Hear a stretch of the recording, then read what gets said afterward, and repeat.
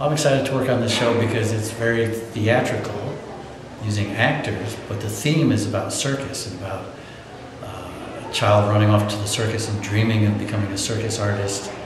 And that's what I did when I was a young fellow. I ran off and joined the circus because I was really interested in the lifestyle of being a circus artist, what that meant. You know, it was a life of, of well, it was, it's an unconventional lifestyle of renewable adventure. There's always something to look forward to in the circus. I'm very excited to be working on this play because it combines circus and theater. And there's nothing better than that for the imagination.